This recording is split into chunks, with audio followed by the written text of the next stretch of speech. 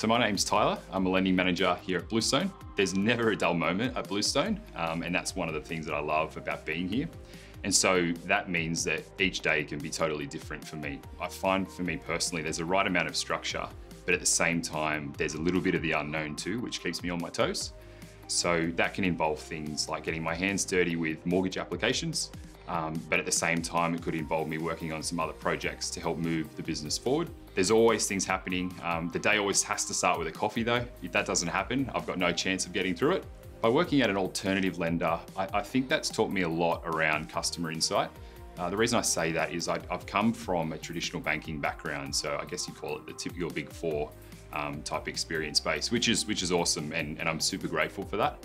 But I think what that's done is since joining Bluestone, I've now been able to use that experience to understand that there can be another perspective.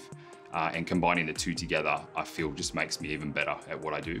And, and what it's taught me in coming to Bluestone is that every customer has a story and I have the time here to spend on, on learning that story and understanding what position the customer is in. I understand, I guess, a lot more around the scope of the industry now. Uh, it's, it's a little less one-dimensional for me. And so my horizons have certainly broadened uh, and I'm, I'm excited to be here and I'm excited to keep being here. Bluestone's uh, growth journey is super exciting. Um, and the reason I say that is because since, since joining Bluestone, I've always felt that there's something to be pushing towards. I've never felt that there's a moment where I'm unsure as to where we're headed or what it is that we're trying to achieve.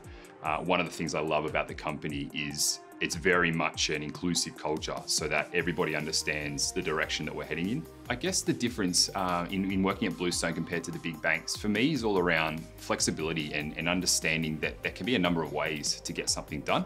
What I most enjoy about my role is that every day is different, but it's also really rewarding. I've proven to myself, and I think the business has also proven to me that it is really rewarding to see where we are at the moment, where we've come from, but then also what we've got on the cards over the next few years as well.